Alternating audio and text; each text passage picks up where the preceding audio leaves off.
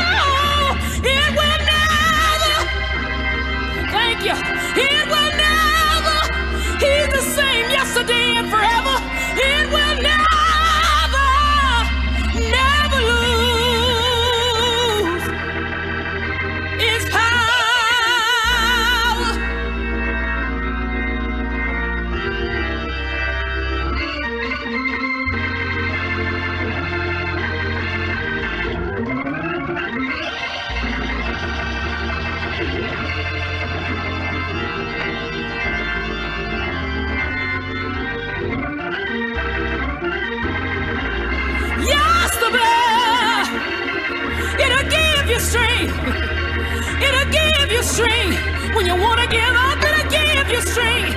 Hold on. God will. It'll give you strength from day to day.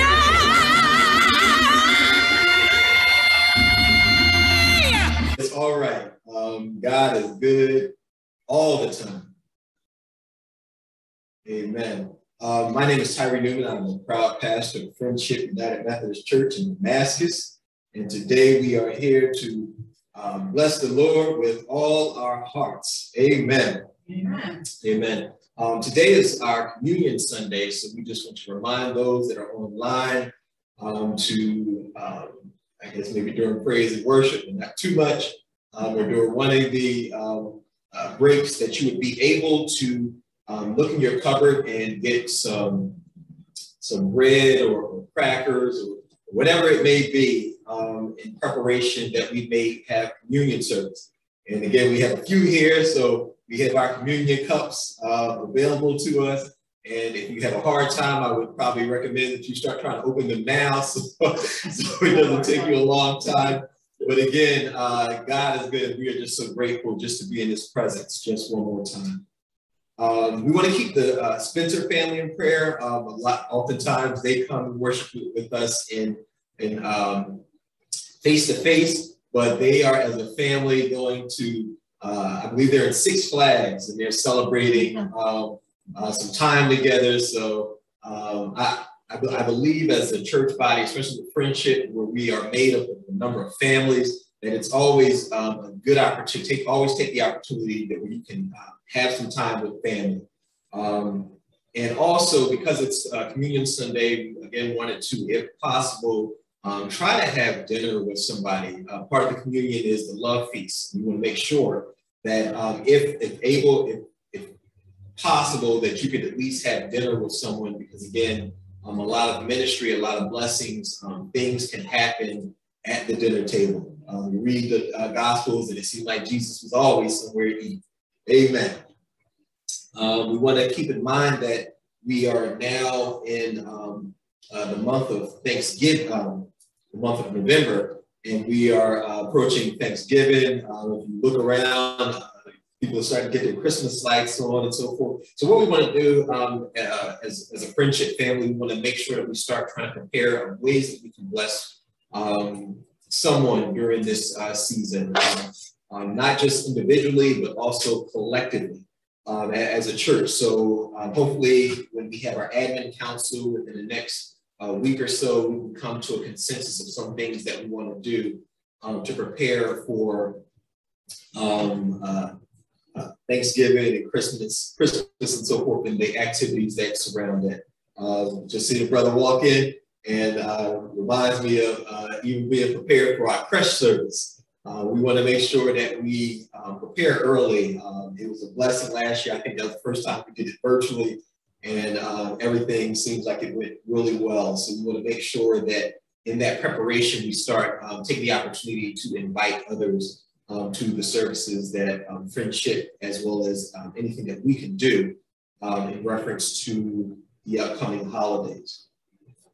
Um, I want to uh, again thank everybody for their continued um, support and uh, financially um, um, uh, sowing into uh, the ministry for friendship, as well as your prayers. Um, it is indeed a blessing uh, Sister Julie has joined us in person, so it's good to uh, finally see her in, in, in person. And um, looks like Brother Harold is about to go get one of them cups.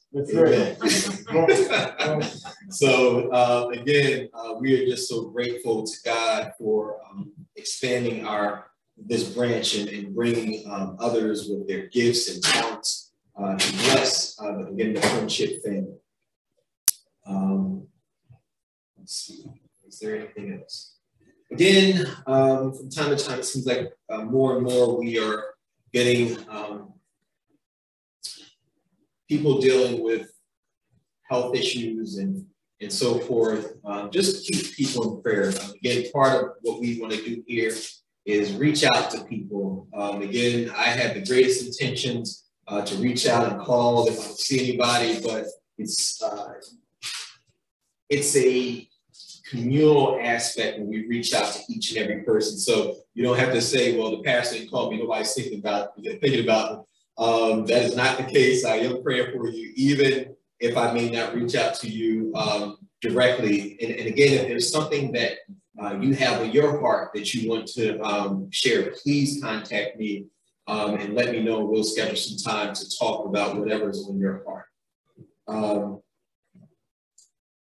and yeah, and, and, and, going into reference with that is considering that we are in the um, times of our of the upcoming holidays. This is where times where again people um, are dealing with the loss of loved ones. Um, a, a, friend of my daughter's um, school uh, lost her life uh, last week as a young person. I think she was no older than 20 years old by a freak accident and I can only imagine how the family is um, feeling, um, especially during these during these times. So again, um, she's on our prayer prayer list, and we will uh, lift her and her family up. But again, just kind of keep that in mind because usually around the holidays is when um, the loss of loved ones um, hits a lot of us uh, most.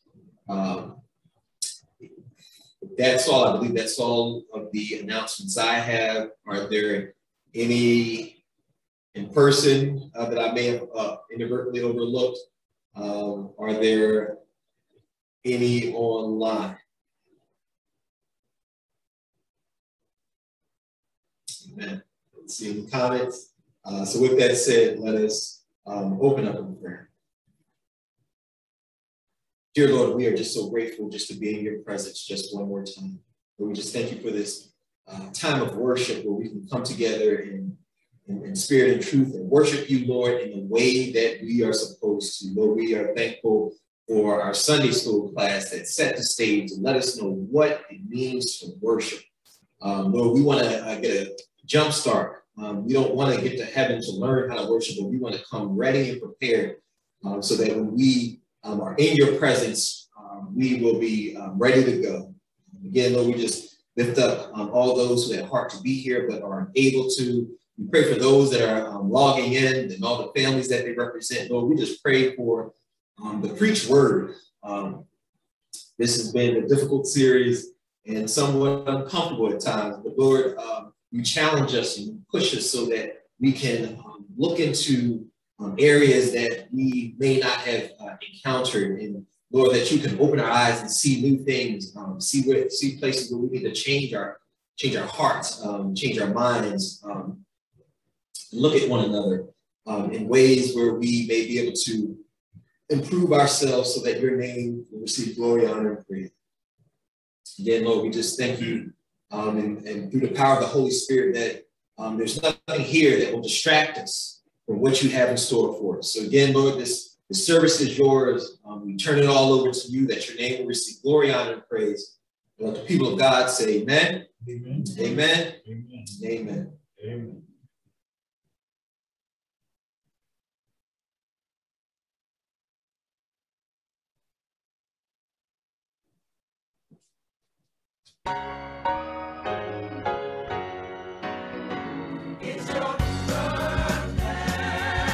It's the day that you were born. It's the day your mama brought you home.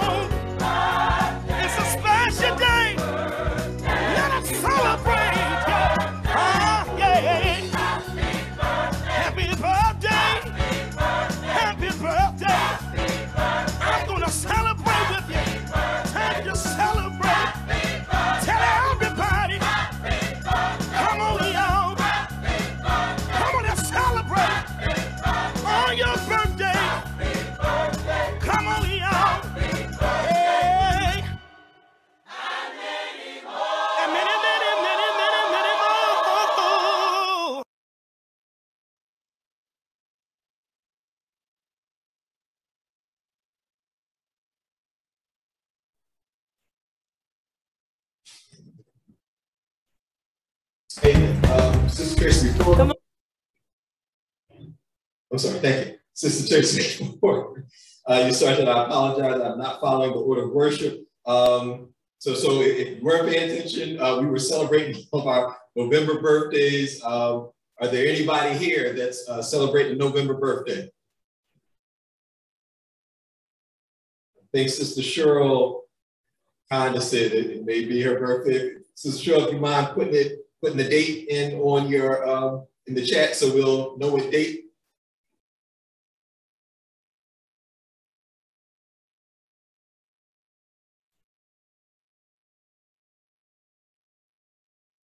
Amen. Well, uh, there we go. November 26th. So get to you get to eat well and get to celebrate. Amen. So we celebrate Sister Cheryl and, on the, uh, November 26th. Um, she uh, is celebrating. Uh, we, well, just, she's celebrating her birthday. We'll leave it at that. Um, so look again. It looks like Sister Cheryl at this point is the only one who we know has a, a birthday in November. So uh, we again want to. Oh, I'm not paying attention. Um, standing. Keep standing Stansberry on, on, the 22nd. Uh, Sister Sister Margaret, uh, uh, Miss Margaret is also celebrating the birthday on the 26th. Um, so hey Sister Cheryl. Uh, 66 uh, years of blessings. Um, so again, we just thank God for um, uh, Brother Stansberry, uh, Ms. Margaret and Sister Cheryl that are all celebrating their birthdays. Brother Keith is on the 22nd, Miss Margaret is on the 26th, along with Sister Cheryl. Amen. I apologize, I'm a little, um, little out of sorts, but uh, God is still good. Amen. Now let's worship.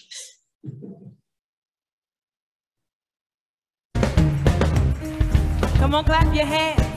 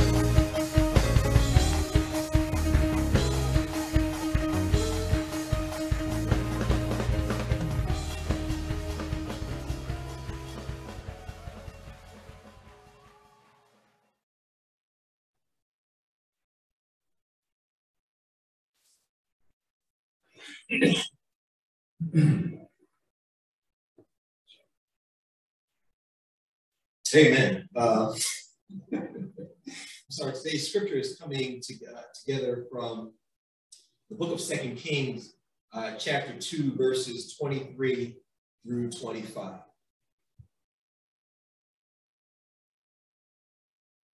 The word of God reads, From there Elisha went up to Bethel. And as he was walking along the road, some boys came out of the town and jeered at him. Get out of here, bald. They said, Get out of here, bald. He turned around, looked at them, and called down a curse on them in the name of the Lord. Then two bears came out of the woods and mauled 42 of the boys. And he went on to Mount Carmel, Mount Carmel, and from there returned to Samaria. The word of God for the people of God. Thanks be to God. Amen.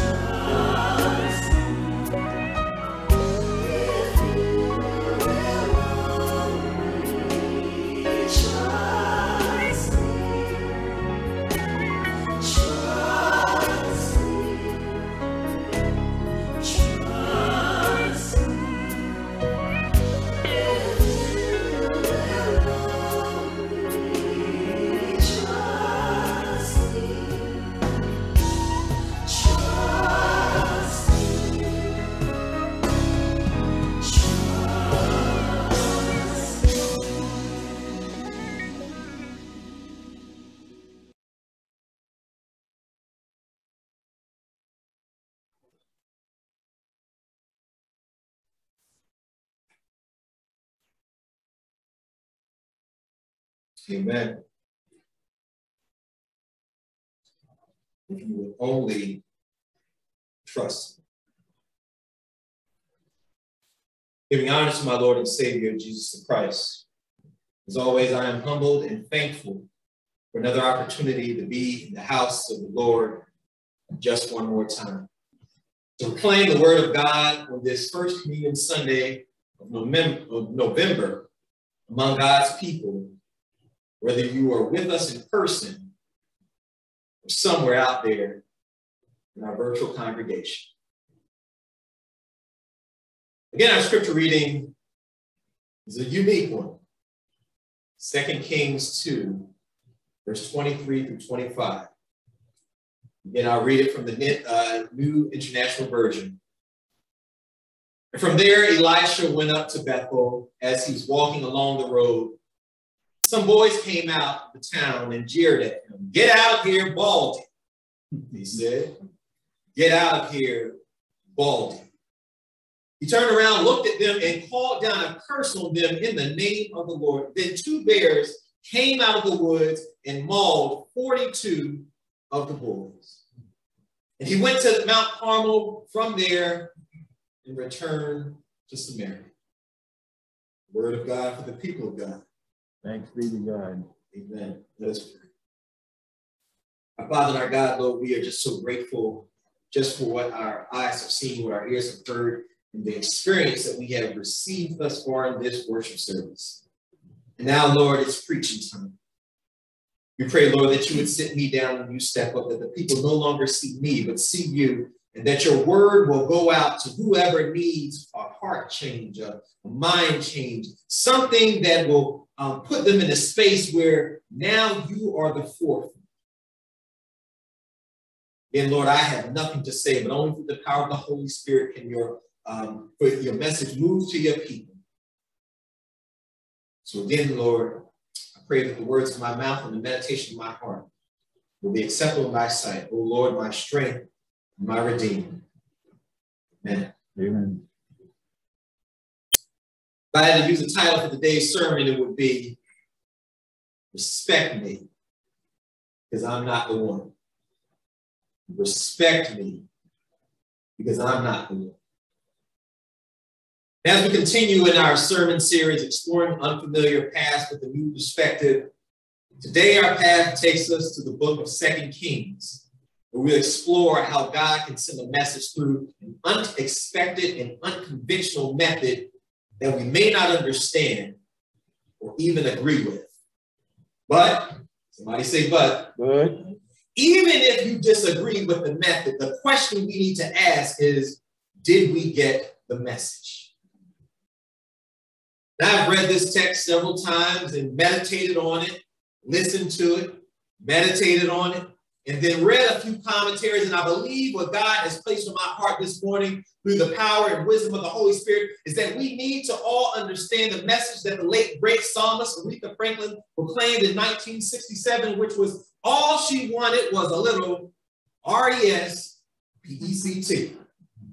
And if spelling is not your forte, Miss Aretha just wanted a little respect. Just a little bit. Just a little bit.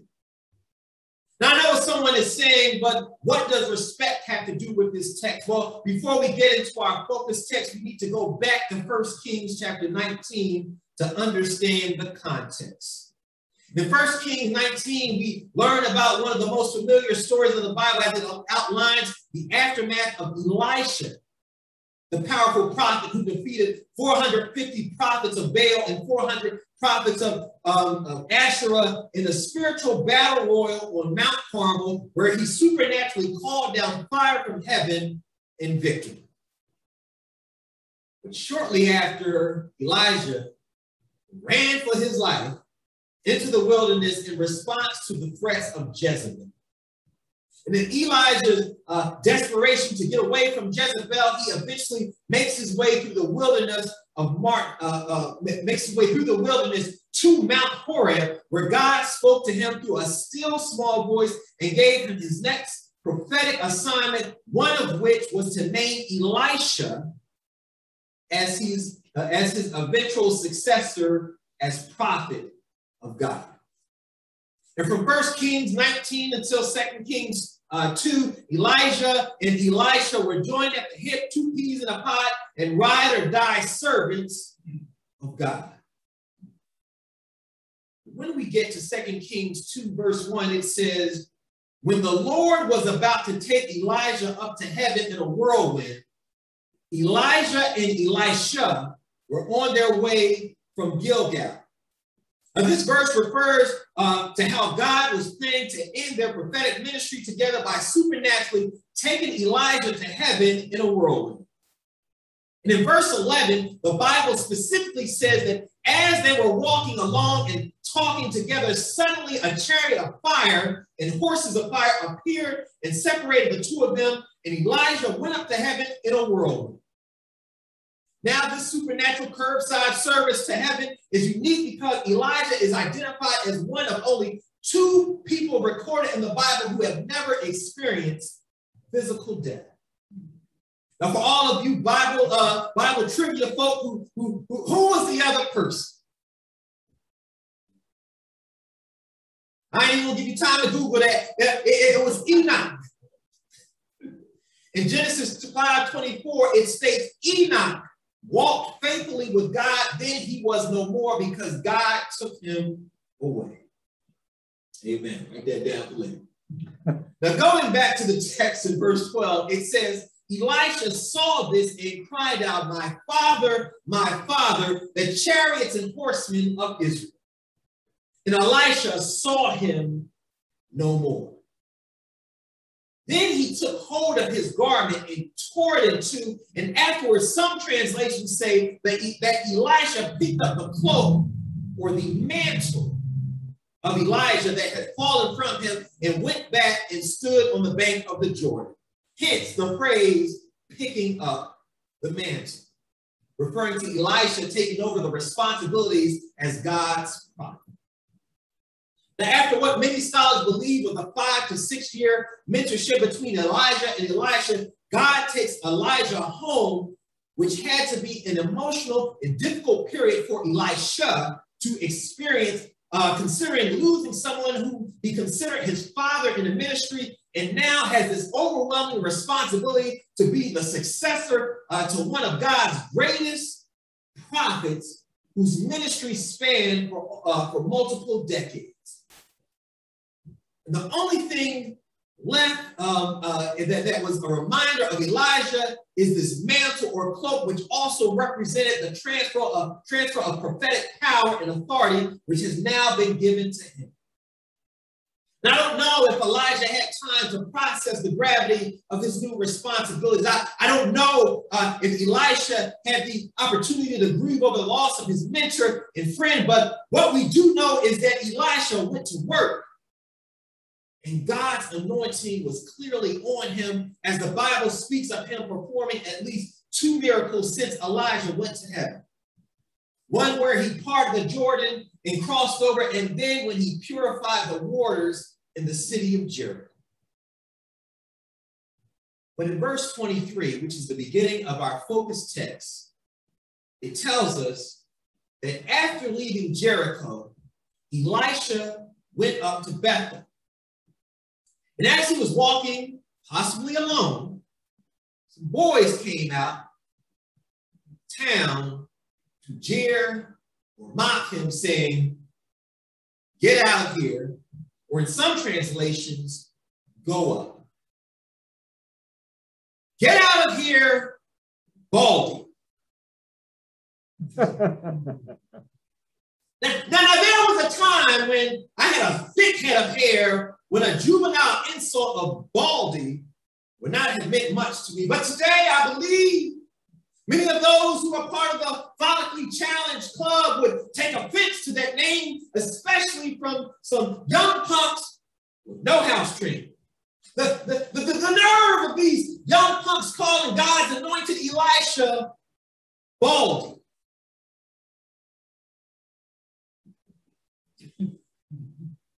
Now, before we get to Elisha's response, we need to understand that even though some translations refer to the, these boys as small boys or even little children, we need to understand that the Hebrew translations for boys is Nahar, which actually covers the age from infancy to adolescence, up to about the age of 20.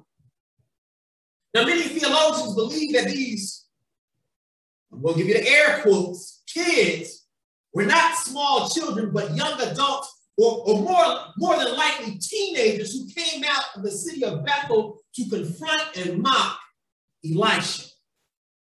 Now, I believe they were teenagers because oftentimes it's the teenagers that like to test their boundaries when it comes to respecting authority of adults. But all the parents who have raised uh, or are currently raising teenagers, Zoom chat a say amen. But what the Bible does not clearly say is if the young people had other motives besides confronting and mocking Elisha outside of the city. The Bible does not clearly say if Elijah was alone, Eli- Elisha was alone and felt threatened, nor does the Bible say exactly how many of these children showed up to mock him. But the Bible is clear that their intentions were to discourage him from entering the city of Bethel. We don't know if the purpose of the children meeting the prophet outside of the city had other nefarious intentions, but again, we are clear that they were there to discourage him to leave or go up, which may have been another dig to mock Elisha about how his mentor Elijah had departed from the earth. Now, I don't know about you, but kids are not always kids. Because we have seen videos and read about reports of kids who unprovokedly target random people to beat them up for fun.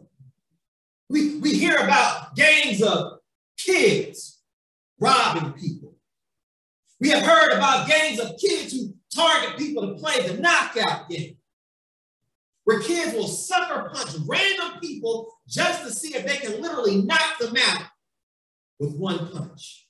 We hear about kids who target high-end stores to commit mad shoplifting and, and, and being raised in Philly.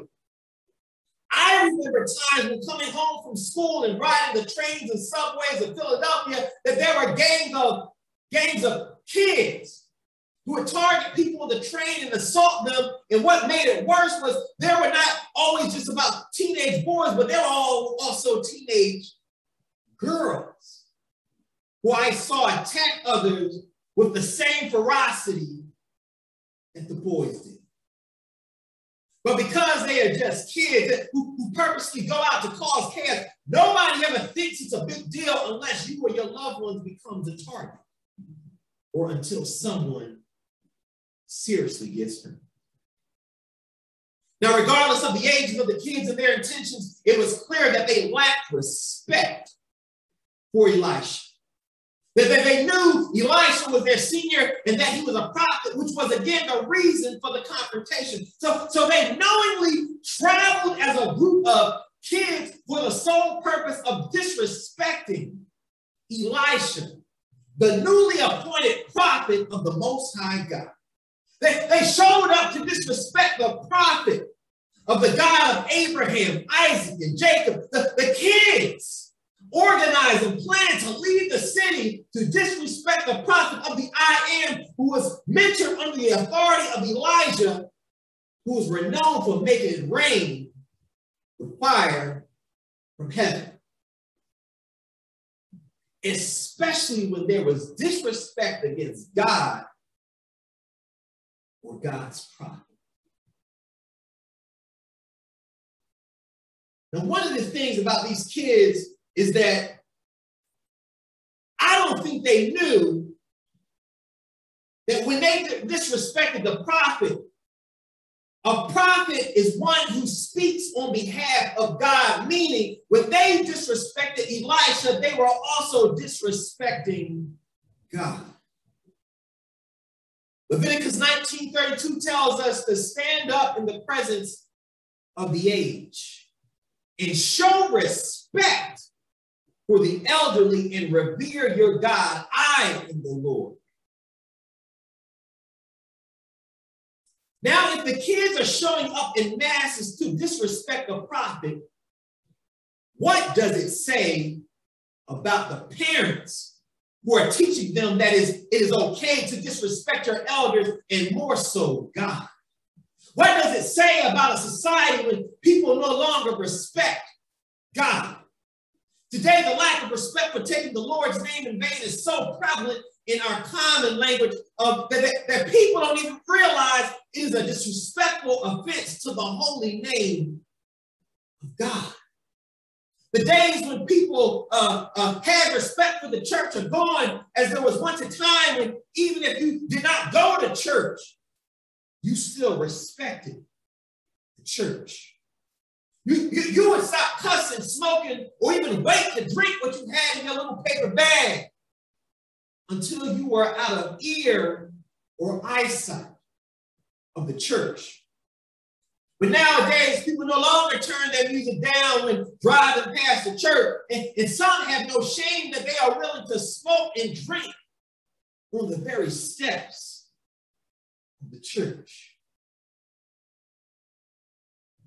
When there is continuous decline in the respect for God, and a better term would be when you lose your reverence for God. Don't be surprised when you suffer from the curse of God, and sometimes it may come when you least expect it. The text says that after the second baldy remark, Elisha turned around looked at them and called down a curse on them in the name of the Lord. Again, it is important to understand that Elisha actually, uh, well, to understand what Elisha actually said and meant to better understand the text of what just happened. Now, let's be clear Elisha was clearly annoyed. I would be annoyed.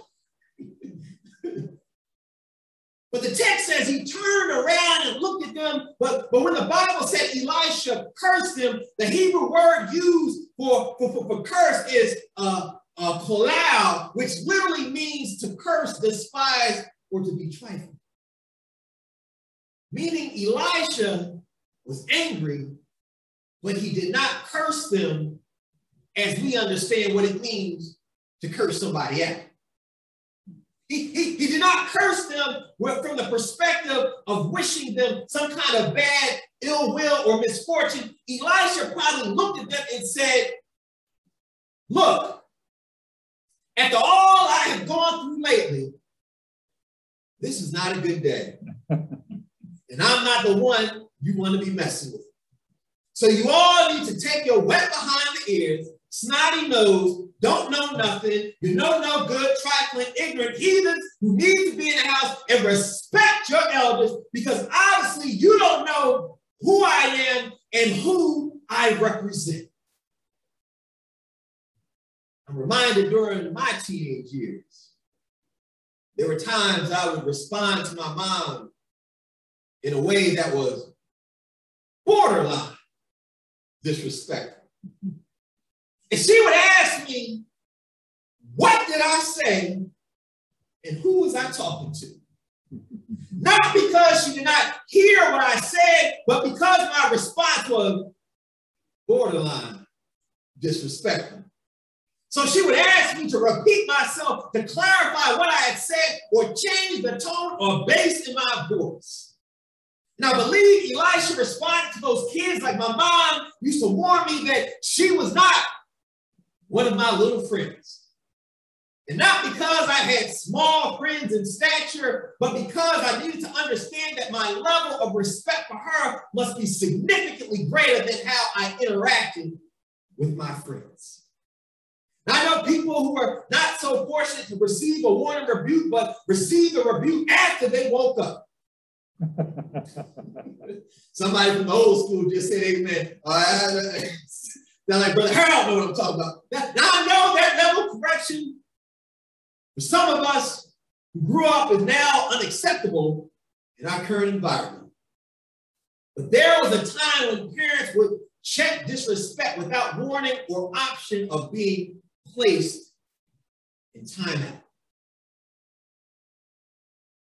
Now somebody is saying, well, if, if, if, if, if Elisha is saying Elisha had to curse them because the text says that he cursed them in the name of the Lord, which means despite his anger, what he actually did was he took his rebuke and turned it over to the Lord. That's it for me. So even if Elisha wanted to curse the kids in a negative way, we must remember that no one has the power to curse anybody. Because only God can curse, which is actually the opposite of a blessing. Meaning, when you are cursed, is a removal of God's blessing, his favor, and protection. But just as when you are blessed, you have God's favor, mercy, and grace. Soon after Elisha rebuked, the Bible says that 42 of the young boys were suddenly mauled by two female bears. Was this a coincidence? Bad timing? Or did God exact punishment on 42 of the how many ever other kids that were there disrespecting the prophet? Again, 42 was who God, we don't know, it might have been a hundred of them at that period of time. And I know somebody is saying, come on, come, come on, Pastor Newman, they were just kids. Why couldn't God use another way to reprimand those kids? The, the, punishment seems too harsh. And I would say, how do we know if God had not already tried to do this many times over? We often want mercy for others until we are the victims or someone we know and love. What if those kids were disrespecting your husband, your father, son, or uncle? What if someone was disrespecting your wife, mother, or daughter? Would you want some type of retribution? Being a basketball dad, there are times when I'm sitting in the stands and literally pray no one says anything disrespectful about one of my daughters because there might be a problem. I'll pray for you. Basketball season is coming up and we all should be respectful of each other because you never know when you may roll up on the wrong person on the wrong day. Hebrews 13, 2 tells us, do not neglect to show hospitality to strangers, for by doing that, some have actually entertained angels without knowing. Being respectful is important because you never know who you may be talking to about at your job who actually may be the undercover boss. The, the, the, the, person in the car in front of you that you did not recognize and who you just beat your horn at disrespectfully and then followed up with giving them the fever is now also turning into Friendship's parking lot. Mm-hmm. It happens to be your neighbor. Oftentimes we don't learn from God unless we learn about or, or, or experience a severe consequence for our actions. Throughout the Bible, there are severe and lasting consequences to sinful actions when there was a lack of reverence or respect for God or God's servant. Y'all read your Bible. Adam and Eve were kicked out of the garden because they were disobedient to God. Two cities were destroyed simultaneously because of their sin. Moses' sister had to suffer with a brief bout of leprosy when she began to disrespect Moses, and a husband and wife dropped dead hours apart because they lied on their giving statement. A brother was killed because he touched the Ark of the Covenant just to keep it from falling. And there are many other tragic consequences in the Bible in response to a lack of reverence to God or God's servant. And some of us may be asking why, because God is trying to show us how a lack of reverence uh, for God can quickly evolve to disrespect among one another that, like a disease, can quickly kill a culture if left unchecked and not dealt with swiftly. See, we forget that when we lose reverence for God, it's just a matter of time when we are comfortable disrespecting the persons that are made in the very image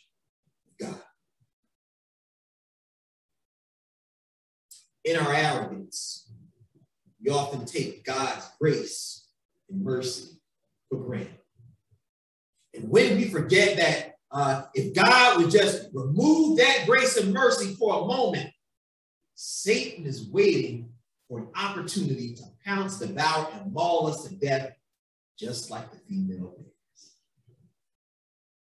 One of the reasons God provided us with the Ten Commandments is for us to understand the necessity of a relationship between our reverence for God and our respect for one another. And when we lose our reverence for God, it's just a matter of time before we no longer again respect one another. If we evaluate our history and the current state of our country, when we lost our reverence for God, slavery became easy to justify. When we lost our reverence for God, it's easy to promote human trafficking.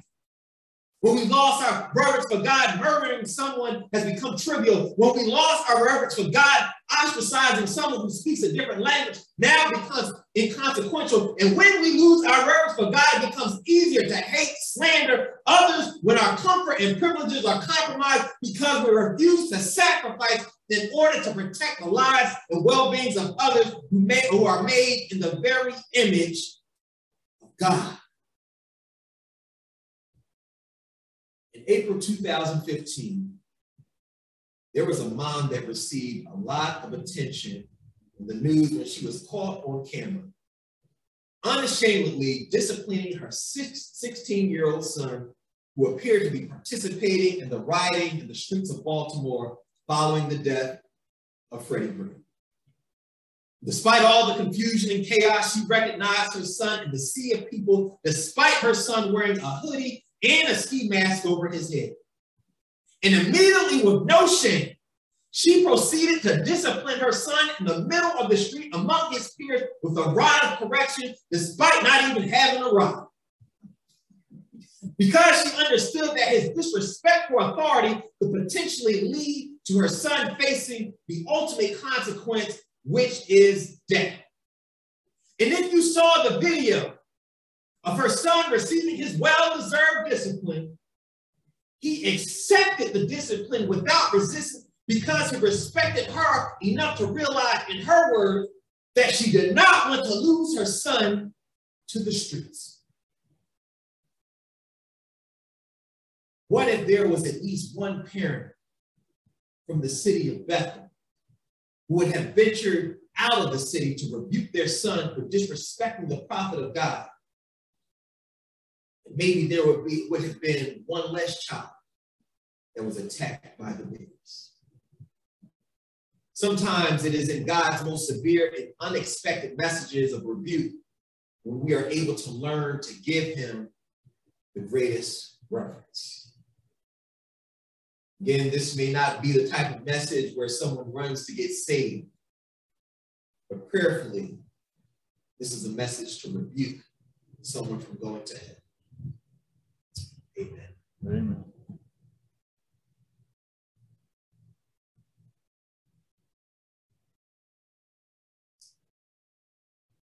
We are now at a point in time where we need to understand that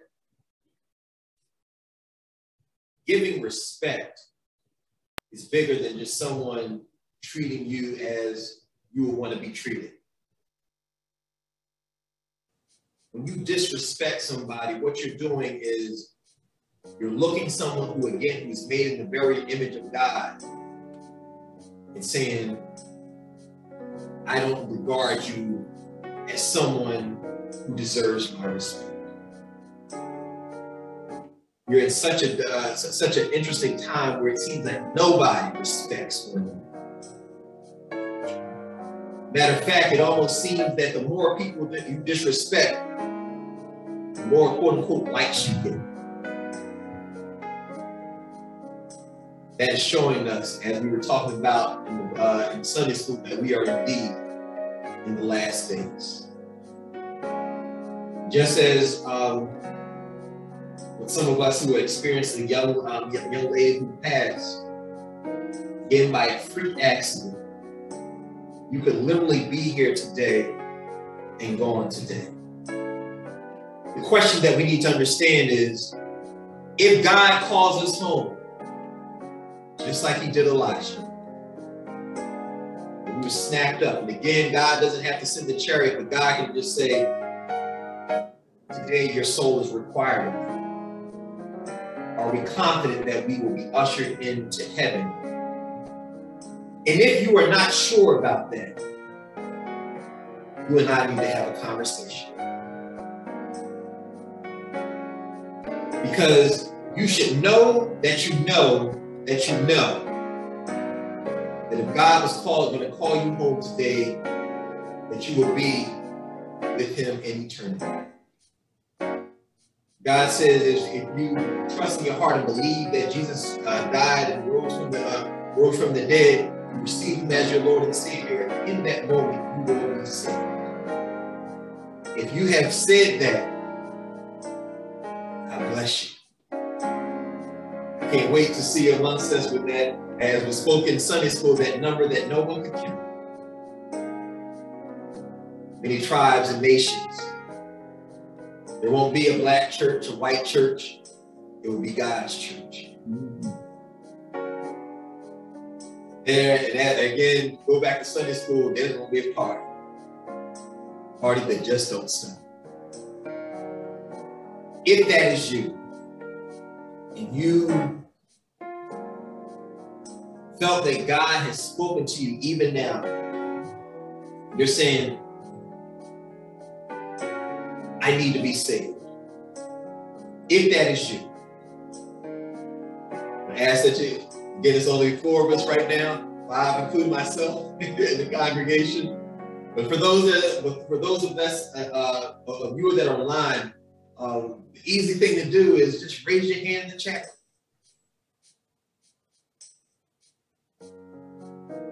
Virtually give God your heart right now. Again, I always say we do not rush this time because somebody could be making a life or death decision. While someone's making that decision, we're going to ask that you pray on behalf others. Somebody that you know may not have a relationship with God. And it actually may be somebody in your very household.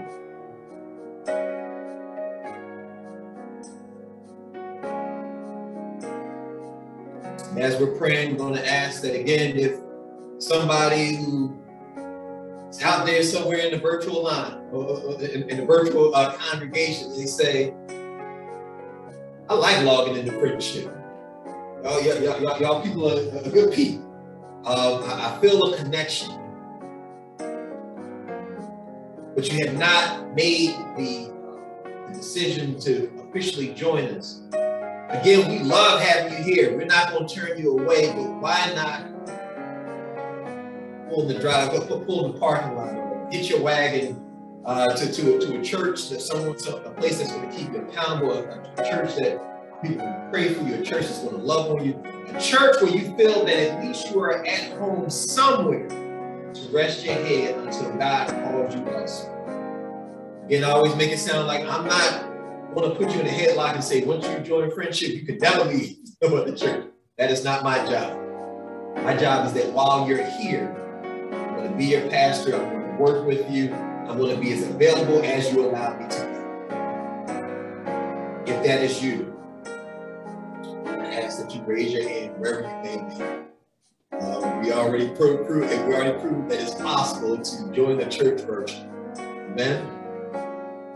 And lastly, by chance, if we have somebody online that has uh, claimed friendship as their church, but have not officially, um, uh, let, let, me rephrase that.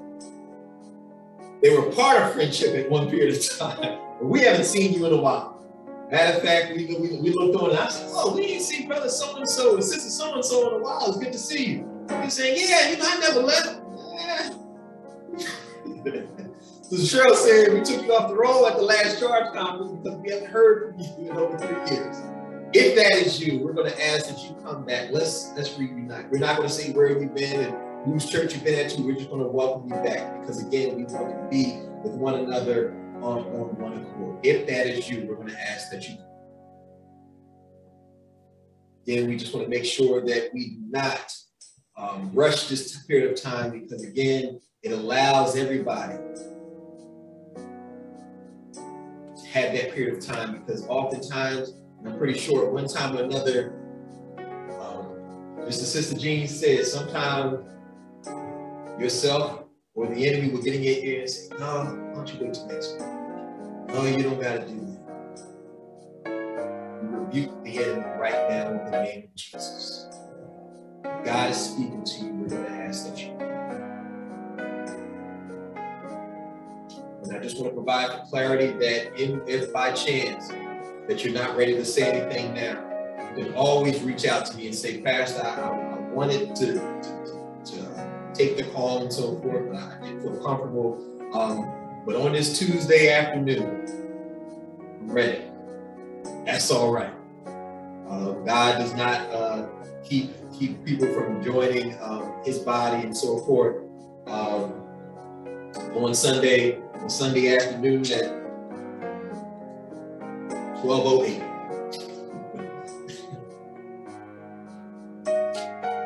With that said, we will uh,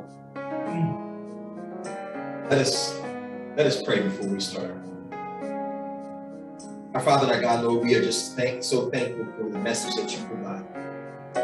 We pray, Lord, that we will now have a, a spirit of respect in our hearts for whoever that we come to. We pray, Lord, that even if we see somebody being disrespectful, that we will have a voice that will alert somebody that that you shouldn't do that, you shouldn't speak that way, you shouldn't behave that way.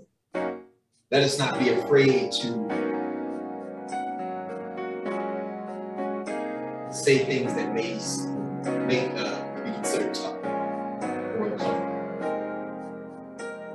Again, Lord, we pray that what we've learned and what we receive now will remain in our hearts, that as we go forward, wherever we may go next, and as we go to the supermarket, as we go um, back to our households, and we come out of our days and so forth, that, that our, our loved ones, our friends, our family will see that there is something indeed different from us will give us the opportunity to explain that that difference is the Christ that lives within us. Thank you, we honor you, and we praise you. And the people of God in person as well as virtually say amen. Amen. Amen. Amen.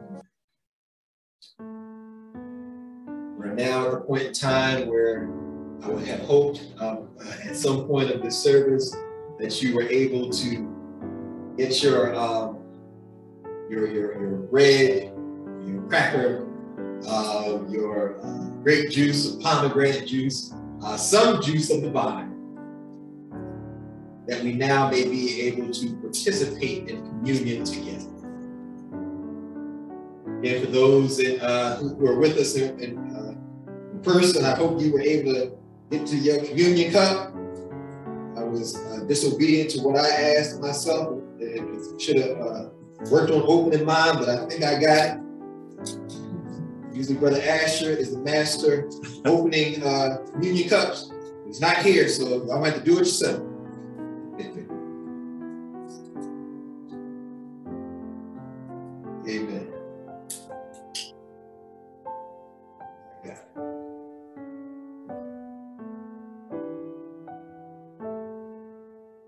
Participate in communion as we declare our faith testify to Jesus as Christ, as Lord and Savior. We participate in communion as an act of worship in remembrance of the life and teachings of Jesus Christ as a source of our soul salvation. We participate in communion as an expression of our relationship to Christ and to each other. Now may the God of peace, through, through the blood of the eternal covenant, brought back from the dead our Lord Jesus, that great shepherd of the sheep, equip you with everything good for doing his will. And may he work in us what is pleasing to him through Jesus Christ, to whom be glory forever and ever. Amen. Amen. Whoever therefore eats the bread and drinks of the cup of the Lord in an unworthy manner will be guilty concerning the body and blood of the Lord. Therefore, let a person examine themselves. Then and so eat of the bread and drink of the cup, for anyone who eats and drinks without discerning the body and eats and drinks judgment on himself. Meaning, before you participate in communion, take time to examine your heart and understand the importance and purpose of communion so that this act of worship is not taken lightly. Let's pray. Oh Lord, we are just so grateful for this opportunity in communion. Lord, we pray that you would bless uh, the elements, the, the, the, bread, the cracker, um, the juice uh, that we'll receive with thanksgiving as a reminder of what you have done for us such a long time ago. Lord, we thank you for your grace and mercy towards us. Please bless. As we receive thoughts will always be reminded at your great sacrifice so that we will be in union with God the Father throughout all eternity. In Jesus' name we pray. Amen. Amen.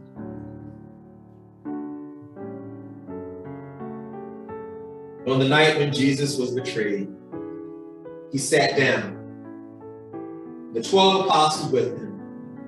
And he said to him, to them, with fervent desire, I have desired to eat this Passover with you before I suffer. For I say to you, I will no longer eat of it until it is fulfilled the kingdom of God. For as often as you eat this bread and drink, this, drink of the cup, you proclaim the Lord's death until he comes. So he took the bread. And when he had given thanks, he broke it. This is the body, this is my body, which is for you. Do this in remembrance of me. Likewise, let us.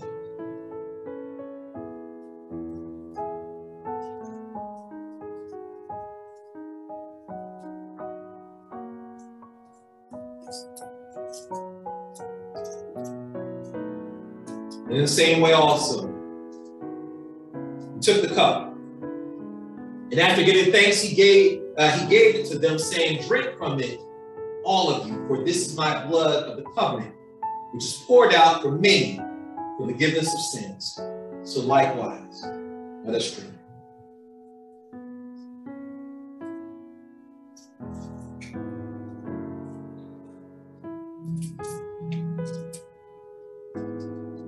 Lord, we are so grateful for this opportunity again. Thanking you for this communion as we commune together as one body in Christ. Amen. When they had sung a hymn, they went out to the Mount of Olives. So likewise, let us go out to where, where God is calling us to go with a song in our heart, proclaiming to the world, I know it was the blood. I know it was the blood. I know it was the blood for me. One day when I was lost, he died on the cross. And I know it was the blood for me. Amen. Amen.